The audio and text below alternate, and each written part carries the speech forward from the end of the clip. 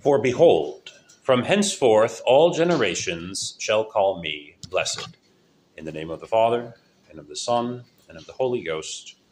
Amen. These words, my dear faithful, are recited at Vespers, the evening prayer of the Church, each day. They are taken from the great canticle of the Blessed Virgin Mary, the Magnificat, and they demonstrate to us why it is so very fitting that we should have an entire month, a month that we begin today, dedicated to the Most Holy Rosary, that greatest of devotions in honor of the Most Holy Mother of God. This past week at Matins, the first of the hours of the Divine Office, the Church read the accounts of the two valiant women of the Old Testament, Judith and Esther, who were raised up by God to deliver the chosen people from the threat of utter destruction. These heroic daughters of Israel are a prefiguration of the great benefit that comes to the chosen people of God in the New Testament through the Blessed Virgin Mary. As St. Bernard, the great doctor of the Church, declares, all God's graces flow through Mary. The Holy Rosary is a gift to the human race directly from Our Lady herself, much in the same way that the Our Father is a gift given to us by our blessed Lord Himself. Just as the pious recitation of the Lord's Prayer is the greatest of prayers which we might offer to God, so too is the Holy Rosary the greatest of prayers with which we might honor our Lord's Holy Mother. Opponents of the Rosary, as many Protestants are, might claim that praying the Rosary gives too much attention to Our Lady, since the Rosary is, after all, the most common prayer that Catholics say. But this is not true. Do we not begin the Rosary with the Apostles' Creed, the prayer which attests all of the chief truths of the Catholic faith, which we believe and which we must live up to and even be willing to die for? Do we not begin each mystery with the Our Father and declare in the course of each Hail Mary, Blessed is the fruit of thy womb, Jesus? Does it not honor God that we should honor for his sake the mother whom he holds most dear? We do show a particular honor to the Blessed Virgin Mary by reciting the Rosary. But this is most fitting, for of all of God's creatures, she is the most pleasing to him, and she holds the highest place in heaven after God Himself. And this we show in the course of the Rosary by placing the Hail Mary directly after the Lord's Prayer. We address our Heavenly Mother in the Rosary using the inspired words of sacred Scripture itself. First, the salutation spoken by the Archangel Gabriel when he announced to her that she was to be the Mother of God. To this we add the words of St. Elizabeth when she greeted the mother of her Redeemer at the visitation. We acknowledge against all those who blaspheme against our Heavenly Mother that she is indeed the Mother of God, for her divine Son is true God, and also that she is holy as some enemies of the truth deny. We ask that she pray for us, and we humbly express that we are sinners. Pray for us sinners. Oh, if only we would stop and think on these words and realize their true meaning, we would speedily rise to great humility. We indeed are sinners, but she is holy. Holy Mary, pray for us sinners. We beg our Heavenly Mother to pray for us now and at the hour of our death, in order that we should obtain her pardon and also her assistance. Sin is indeed an offense principally against God. But to the degree that one loves God and draws closer to Him, to that same degree one will despise and detest sin. Thus it is that Mary, the purest of God's creatures, is deeply grieved at the callous offending of her divine Son. Picture her sorrow, for example, at the foot of the cross.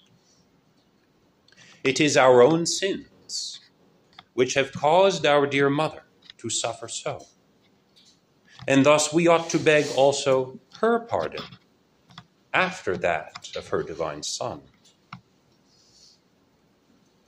The rosary was given to St. Dominic by Our Lady to use as a weapon against the enemies of our salvation. It is for this reason that religious wear the rosary hanging from their belts, where a knight would hang his sword. Like a sword is, the rosary is both a weapon for offense, to attack, but also to defend. Originally, Our Lady gave to St. Dominic the rosary as a weapon to use to conquer the evil heresy of the Albigenses, which was taking over Europe at that time.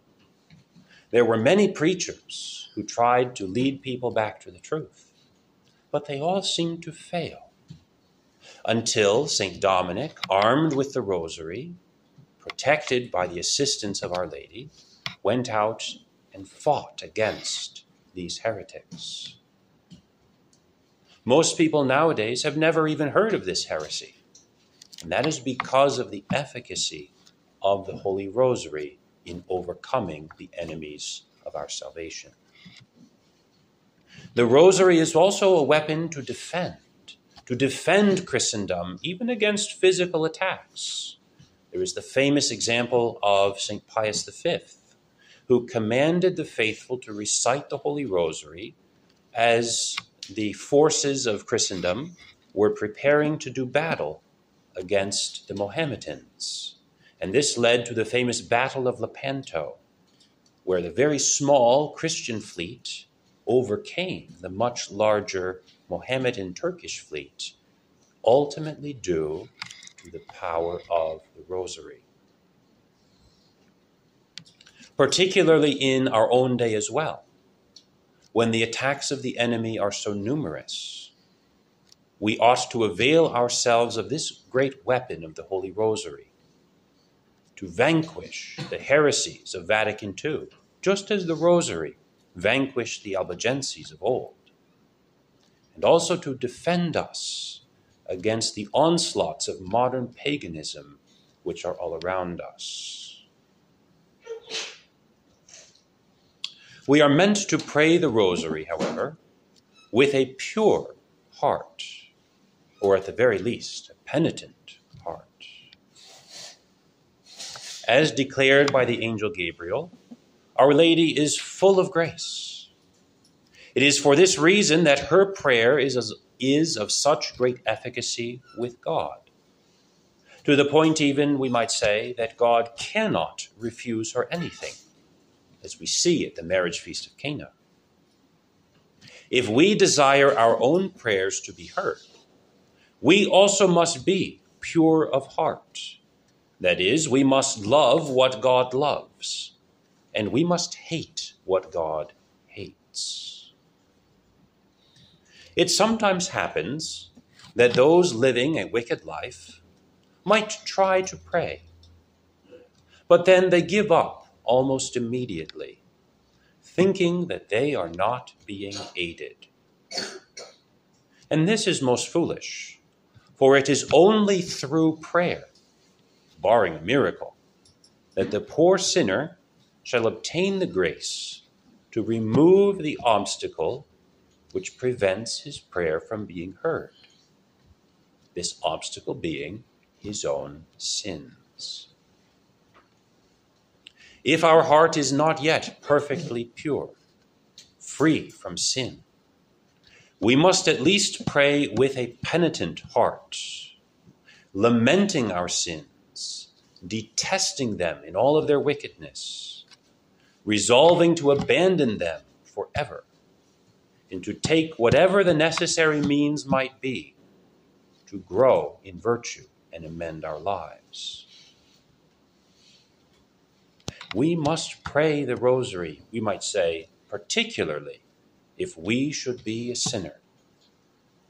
The Curé of Ars, famous pastor of souls, insists that it is impossible for someone who devoutly prays the rosary every day to remain in mortal sin. You will, he says, either give up the one or the other. Pray the rosary as a great defense and a weapon against mortal sin. We are meant to pray the rosary with devotion. For the rosary is not just random words that we say, but an expression of love to our Heavenly Mother. We are meant, as it were, to mean what we say. You could never sufficiently express your affection and love for those dearest to you. You never tire of saying how much they mean to you, how much you appreciate their presence and assistance. We ought to approach those prayers which seem to repeat themselves in the same way. We are telling our Heavenly Mother over and over again how much we love her we might also say we are making reparation, one little bit at a time, for all of the many countless blasphemies uttered against her by the pagan modern world. The most important part of the rosary is to meditate on the mysteries. And this is something that many people find difficult to do, but with practice, it can be done, and it must be done. We ought to think of what the mystery presents to us, to consider it, to act, ask how we might adore God based upon this mystery. What lesson do we learn? How can we imitate the holiness of Our Lady? Or how can we imitate the submission of our blessed Lord in obedience and humility? to Our Lady and Saint Joseph, or to the will of his heavenly Father in the agony of the garden. We must express our sorrow for sin, that we are not as humble as is Our Lady, that we are not as diligent in performing God's will as is our Lord. We must ask for the grace to imitate these mysteries. and we must thank God for those few occasions where we have corresponded to the graces He has given us and used the lessons we have learned. Finally, we must pray the Rosary with confidence. Confidence that our Blessed Mother can assist us to obtain what we desire. Confidence also that she desires to assist us, that she wishes to help us. Prayer without confidence will seldom be heard, and so we must strive to approach our Blessed Mother with confidence. We begin today the month of the Holy Rosary, the month of October. Let us resolve that we shall say, at least during this month, the Holy Rosary each and every day Let us say it as a family, all together, showing the unity of the home in the desire to serve God and to do what is pleasing to Him. We might gain many indulgences. Let us offer them in reparation for our own sins or for the relief of the holy souls in purgatory. If we pray the rosary every day, piously and devoutly, we can be sure that we will overcome or avoid entirely mortal sin. God bless you. In the name of the Father, and the Son, and the Holy Ghost. Amen.